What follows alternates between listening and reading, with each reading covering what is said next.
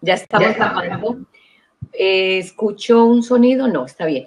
Hola, ¿cómo estás? Te habla Marimelda Cardona de marimeldacardona.com y hoy tengo una invitada súper especial, Diana Campo, que es experta en el tema de los pensamientos que engordan. ¿Sabías que los pensamientos son los que engordan más que la comida? Es, todo es un, una, digamos, um, eh, es un conjunto, pero muy especialmente queremos hablarte de lo que son esos pensamientos que realmente engordan. Hasta tomando agua se engorda. Bueno, Diana, cuéntanos eh, por qué hay pensamientos que engordan. Hola, buenas días, buenas tardes, buenas noches para quien nos esté escuchando. Mi nombre es Diana Campo, gracias María Imelda.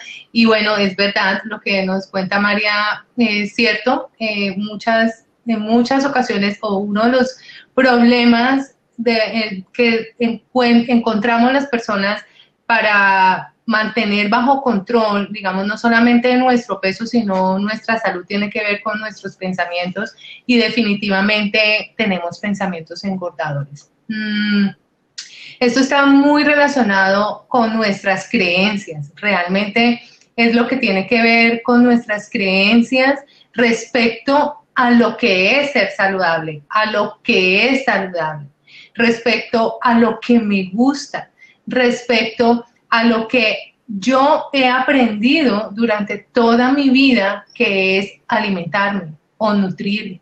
Si lo tengo incorporado en mi pensamiento o no, y cómo lo tengo incorporado en mi pensamiento. Porque hay una gran diferencia entre el cuando yo pienso en ser saludable y lo, y lo, y lo, y lo, digamos, lo dibujo en mi pensamiento como una sensación y una certeza de que es delicioso, rico, nutritivo y me imagino la manzana así roja, deliciosa, a la que yo le voy a dar un mordisco y la zanahoria con su sabor dulce y crujiente, a cuando yo pienso en ser saludable y pienso, qué horror, dieta, a comer como conejo, voy a aguantar hambre, eh, la gente que habla de ser saludable es pálida, eh, no, no, come bien, está desnutrida, porque entonces allí hay una gran diferencia cuando tan solo en mi pensamiento yo me estoy eh, enfrentando al tema. Y es bien fuerte, eh, imagínate, Diana, que mm, mi esposo, bueno, nosotros, nosotros un poquito bajamos la familia completa, porque esto es prácticamente, diríamos, hasta familiar. Y, nosotras, las, las esposas o las mamás, mamás, mucho que ver, en esa parte de, eso. Entonces, me, me, da risa porque mi hijo quiere bajar 10 libras más, pero de lo que ya ha bajado. Él ha bajado 20 libras, quiere bajar 10 libras más para el día del pavo, porque acordate que viene diciembre. Entonces quiere eh, es hay una como una persona, por ejemplo, precisamente eh, preparándonos para estas fiestas, donde pensamos que, inclusive Diana, el, cuando salimos a, la, a, una reunión, la gente nos demuestra cariño con la comida. Entonces, ¿cómo prepararnos nosotros totalmente para este tipo de fiestas y para uno pensar estos alimentos, wow, ¿qué voy a hacer? ¿Cómo controlar esos pensamientos en el momento en que nos invitan a, esa, a esas fiestas? Pues mira, yo creo que lo primero, lo primero que, tenemos que hacer es identificar esos pensamientos. Entonces, por ejemplo, el primer paso al que yo invito a las personas que están aquí ahora escuchándonos y que van a escuchar este video, es que identifiques cuáles son estos pensamientos a través de los cuales tú te estás relacionando con la comida. Entonces, eh, ¿qué piensas cuando escuchas la palabra dieta? ¿Qué sientes? ¿Cuáles pensamientos acompañan eh, esa, esa palabra? ¿Qué piensas cuando escuchas la palabra saludable? ¿Sí? ¿Cuáles son los pensamientos que se dibujan en tu mente? ¿Cuáles son las emociones que, que se generan en ti en el momento en el que estás eh, escuchando eh, necesitas comer saludable o vas a comer saludable o necesitas cambiar tus hábitos. ¿Qué está pasando en tu mente cuando, cuando te dicen tienes que cambiar tus hábitos? ¿Qué, ¿Qué, está pasando allí? ¿Qué pasa en tu mente cuando tienes estas, eh, digamos, estas frases enfrente y, y las escuchas? Entonces, lo primero a lo que yo invito a las personas es a revisar sus pensamientos, a identificarlos, ¿sí? Porque yo puedo estar pensando que ser saludable es aguantar hambre. Yo puedo estar pensando que hacer dieta es aguantar hambre. Yo puedo estar pensando que comer verduras no es saludable. Y eso suena un poco paradójico, pero muchas personas podemos pensar, de acuerdo a la información que tenemos, que comer verdura no es saludable. Pero ¿cómo si se va a desnutrir?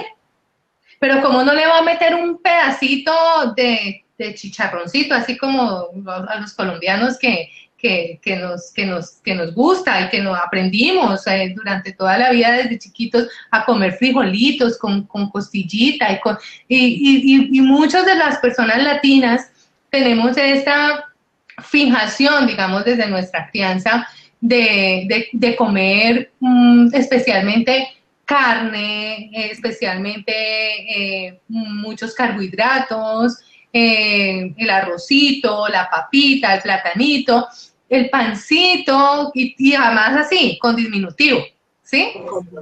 Entonces, esto ya está metido ahí. Entonces, cuando nos dicen, es que usted tiene que comer verduras, pero es que ni que fuera conejo, ¿sí? Entonces, ¿ves? Todo esto es lo que genera un bloqueo, de alguna manera, en, en nuestros propósitos. ¿Por qué tengo sobrepeso?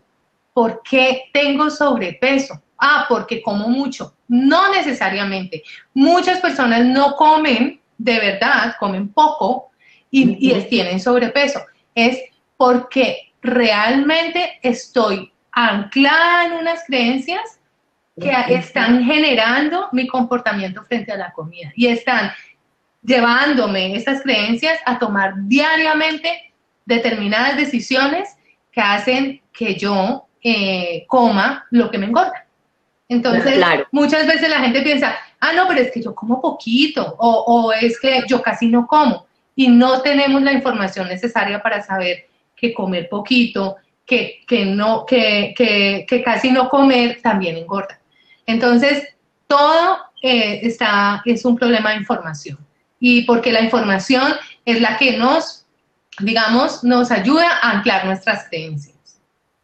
Perfecto. Entonces, en el ejemplo que de comiendas en este es, yo hago una lista, identifico primero cuál es ese programa mental que tengo. ¿Cuáles son los pensamientos? Es, es como em, es confrontarte con la palabra dieta. A mí me generaba eh, que eh, ese es el, el inicio cuando yo empecé hay una cosa, Diana, que yo pensaba que el metabolismo no lo podía yo controlar.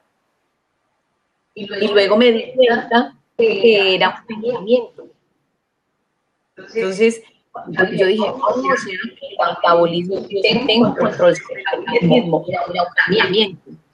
Lo que pasa es que todo esto tiene que ver con nuestras creencias y ¿por qué? Porque es la información que tenemos. Entonces tú vas donde el médico y el médico te dice, señora, es que su metabolismo es muy lento o su metabolismo es muy rápido. Y a uno le queda la sensación como que, ay, ese metabolismo mío sí es, pero tremendo. O sea, pero yo no tengo nada que ver en eso. Sí, es como, ¿y, y yo qué tengo que ver con mi metabolismo? Como así visto desde esa forma, pues nada, ¿cierto? Pero, pero cuando tú tienes la información y tú te das cuenta que sí puedes hacer mucho con tu metabolismo, que puedes eh, encontrar los alimentos adecuados que te ayudan a activarlo, que te ayudan a, ponerlo más rápido, que te ayudan, incluso las personas que tienen problemas de, de noto, de, de, bajo peso, también pueden trabajar en su metabolismo para eh, incrementar su, su peso. Eh, porque es que el problema aquí, y yo creo que lo que nosotras, el objetivo que nosotras tenemos con esto para todos ustedes, no es necesariamente bajar de peso, eh, ni, ni, ni, necesariamente estar flacos, ni, No, el, el tema que nosotras tenemos es estar saludables y como lo habíamos dicho, felices.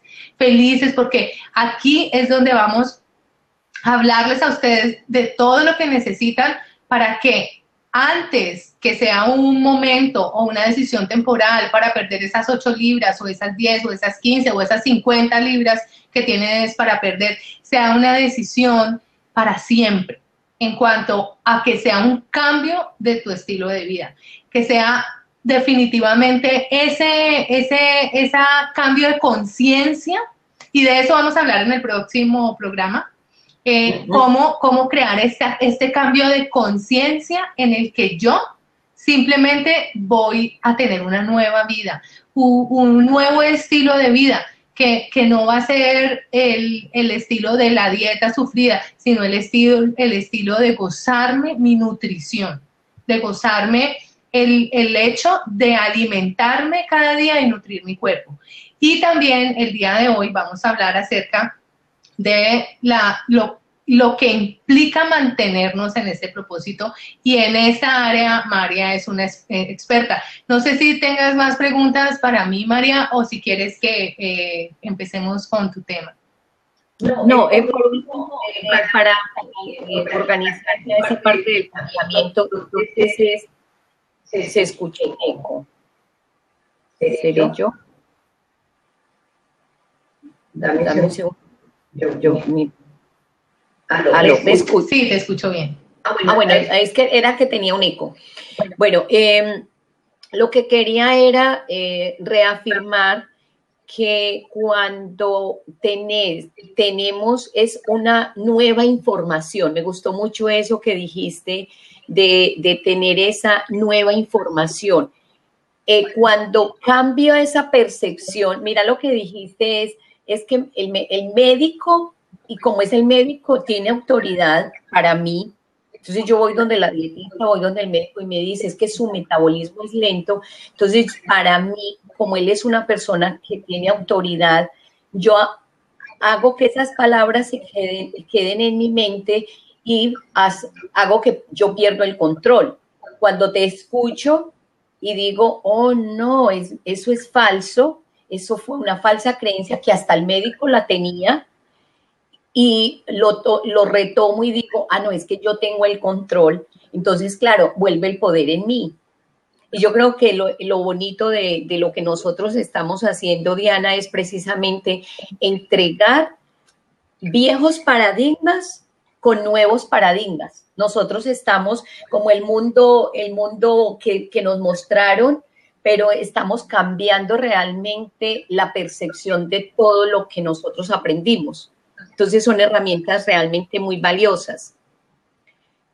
Cuando yo tengo ya ese cambio de percepción o ese cambio de que el pensamiento yo lo puedo controlar, entonces ahí es donde viene esa parte de la visión, porque entonces si yo ya sé, Diana, que yo puedo controlar mi pensamiento, quiere decir, Diana, entonces que yo sí puedo visualizarme como yo quiero ser. Exactamente, ya tienes, ya, ya tienes control sobre lo que tú quieres conseguir porque ya tienes el poder de actuar sobre ello, no eres como un sujeto eh, víctima de tu metabolismo. O, o, porque aquí hay otra cosa bien importante y yo creo que es de lo que cuesta muchísimo trabajo en, en una en una situación en la que yo quiero cambiar, por decirlo así, mis hábitos, especialmente mis hábitos alimenticios y mi condición de salud. Y es que la información está ahí. O sea, la, la información está, soy yo la que, la que debo buscar esa información y no solamente buscarla, sino aplicarla. Porque al final, por, como tú lo decías hace un rato, en todas partes está la información, pero al final soy yo quien decido buscar esa información y acceder a ella y usarla y ponerla en práctica en mi vida. Entonces, cuando yo genero ese proceso, cuando yo inicio, entonces ahí ya yo me doy cuenta que depende de mí y que yo tengo acción sobre, sobre ese cambio y puedo hacer eso que tú estás diciendo tan importante que es verme en otro estado diferente, verme en otra, tener una visión diferente de mí y saber que yo, depende de mí, la puedo conseguir. Claro. Entonces ahí es donde, digámoslo, eh, entra esta parte de cuál es tu visión. Porque si, si yo sigo pensando, Diana, que yo no tengo control, entonces si me preguntan, María ¿y cuál es tu visión? Pues no, porque mi metabolismo es muy lento. Entonces, decime que yo puedo generar de visión si yo no tengo el control. Entonces, ahí, después de cambiar ese pensamiento, mira, un pensamiento, diría uno, tan simple como el que me dijo la dietista hace cinco años y me dijo, Marimel, es que después de los 40 su metabolismo es lento. Les cuento que tengo, ya voy a cumplir 50 y bajé 30 libras el año pasado. Eh, me propuse la meta para el año 2015, estaba en 150 libras después de haber subido eh, de 125 libras, subí a 150. Cuando fui donde la dietista y me dijo que mi metabolismo era muy lento, que hasta el agua me engordaba. Y duré cinco años con sobrepeso, porque es que de, 125 Diana a 150 estamos hablando de, de 25 libras que subí con un pensamiento. Mi metabolismo es muy lento cuando empezamos nosotras dos, y por eso quiero eh, también contarlo como en historia, digámoslo así, porque de dónde salimos nosotras dos, o sea, porque estamos acá y porque hemos creado un sistema y porque hemos creado todos unos pasos donde yo soy el resultado de esos pasos que he aplicado. Y lo queremos compartir con ustedes porque realmente esto es un, para mí es un flagelo, o sea, es un problema, eh, el ser saludable y ser feliz. Y ese fue uno de tus primeros pensamientos, mi metabolismo es lento, fue solo lo primero que empezamos a trabajar. Ese fue, Diana, es que ese fue cuando, cuando, eh, acordate, la información está en todas partes, pero el problema es quién me dio la información. Me la dio la dietista en un, en una, en un consultorio médico. ¿Le creo? Claro. Pues claro, le tengo que creer, porque si no le creo a la dietista, entonces mi mente automáticamente hizo un clic y dijo, wow, duré cinco años, busqué todas las dietas, Diana, hice todo lo que usted quiera y no lograba bajar de peso. Ya el, este año empezamos a hacer este proceso y encontré que con el cambio de, de ese clic del metabolismo y que yo tenía el control, entonces me, me rescaté y dije, wow, si yo tengo el control, quiere decir que yo puedo crear una visión y ahí es donde viene ese, ese segundo paso, que es, es que si yo tengo una visión y yo me imagino, imagínate esta, este, digamos, aquí estoy yo en este punto, ¿no? ¿Y cuál es la visión? Yo me quiero ver acá delgada, con 20 libras menos en esta área. Pero si yo desde acá digo que tengo el control, entonces puedo seguir una línea y crear un futuro, que es mi visión, como yo me veo. Entonces, claro, ahí entran los otros pasos, que bueno, eso no lo vamos a hacer todo hoy porque realmente no nos da el tiempo, pero eh, es entrelazar esos pensamientos para no dejar un vacío, porque es muy importante, Diana, ¿cierto? No dejar vacíos y no es simplemente eh, vamos a hacer dieta, sino es un cambio. ¿Cómo lo podrías explicar, Diana, ya para cerrar esa parte de ese pensamiento de que no es, em, no, es, es cambiarlos? Bueno, yo creo que vamos como retomando y cerrando. Y entonces, el primer paso es identifica tus pensamientos. Haz una lista y, y no seas eh, digámoslo, como por encimita. O sea, de verdad, si tú estás escuchando esto o conoces a alguien que le, que le interese esta información, eh, hoy en día todos, yo diría que todas las personas conocemos a alguien que tiene un problema de sobrepeso. No uno, conocemos más de una persona que necesita trabajar sobre su peso o que necesita mejorar su salud a partir de, de, de un problema de sobrepeso. Entonces, si, si tú conoces a alguien, compártele esta información. ¿Qué es lo primero? Y hazlo exhaustivamente, hazlo de verdad, hazlo de corazón, hazlo como esto de vida o muerte, porque al final esto es un tema de vida o muerte. Y para muchas personas está en un momento más inminente que para otras. pero al final para todos lo es, porque si yo hoy, en ese momento de mi vida, que tengo la edad que tengo, que me veo como me veo, que me siento saludable, estoy en un proceso de envejecimiento. Todos estamos en un proceso de envejecimiento desde que nacemos hasta que nos morimos. O sea, definitivamente. Entonces, ese proceso de envejecimiento continuo y perpetuo en el que nosotros vivimos requiere acción. Y si, y si nosotros no tomamos acción y simplemente vivimos eh, haciendo nada por nuestra salud, pues cada vez ese proceso va a ser más fuerte, más agresivo y para algunas personas como lo conocemos, pues llega momentos en que es inminente el cambio. Entonces es trabajar cuáles son los pensamientos que yo tengo respecto a lo saludable, respecto a lo que me gusta, porque vas a encontrar muchas personas que dicen, ay, pero es que yo me muero por un pancito con mantequilla, ay, pero es que yo me muero. Sí, te mueres por un pancito con mantequilla, pero es de verdad porque te mueres por el pancito con mantequilla, porque esa, eh, ¿qué es lo que te gusta del pancito con mantequilla? La sensación, ¿sí? Es el, premio, la compensación que te da el comerte ese pancito con mantequilla.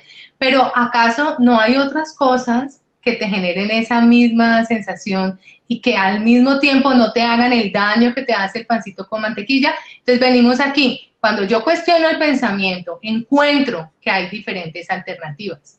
¿Ves? Entonces, cuando yo cuestiono el pensamiento, me doy cuenta que no solamente a través del pancito con mantequilla yo puedo encontrar ese deleite, ese disfrute.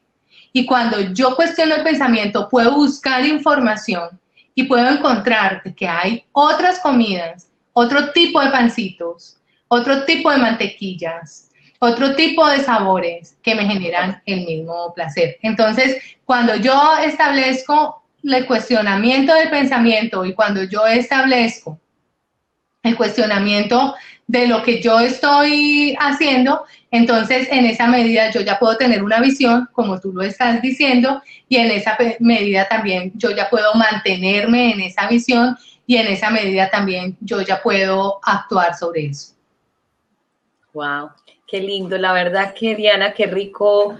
Em, por ahí estaba em, hablando precisamente esta mañana, es para servir a millones, para ser millonario, tienes que servir a millones. Y yo pienso que una de las cosas y del propósito de nosotros es realmente poder servir a millones o que solamente que una persona hoy haya escuchado este mensaje y, haya hecho un clic en su pensamiento y que nos sigan en este programa. En este momento es gratis.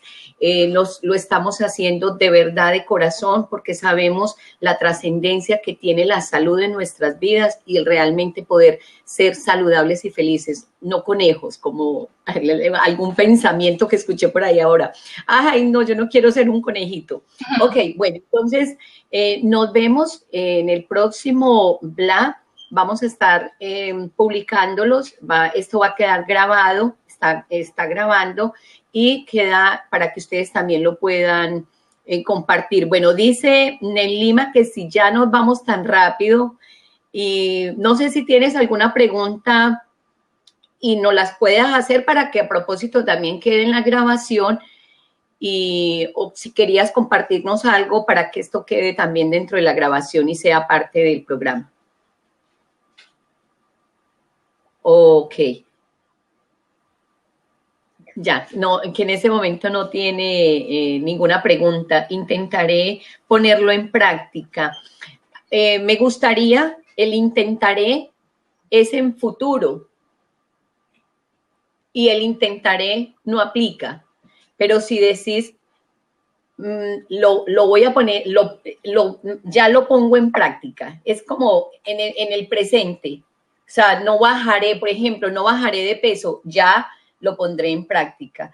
Todo en, presente, si te puede ayudar ese, ese de intentaré cambiarlo por presente. Yo lo pongo en práctica, perfecto. Exactamente. Bueno, ya lo pusimos en práctica y vas a ver los resultados. De igual manera, te invito a que estés conectado con nosotras. Eh, vamos a hacer esto frecuentemente y eh, nos vemos entonces para que no quede muy largo este video. Bueno, nos vemos, Diana. Bueno, gracias, chao. La próxima semana vamos a hablar sobre la conciencia, cómo crear conciencia de salud, cómo despertar mi conciencia de salud para no estar haciendo obligado esto para que no sea un sufrimiento y cómo mantener nuestro enfoque y nuestra disciplina, nuestro propósito. Bueno, bueno, entonces ya saben el, el título del próximo programa y nos vemos entonces en el próximo video. Que estén muy bien. Recuerden también suscríbanse en el formulario que está aquí abajo eh, después de que estemos haciendo ya, quede grabado para que les llegue también la información por eh, vía email. Nos vemos en el próximo. Chao.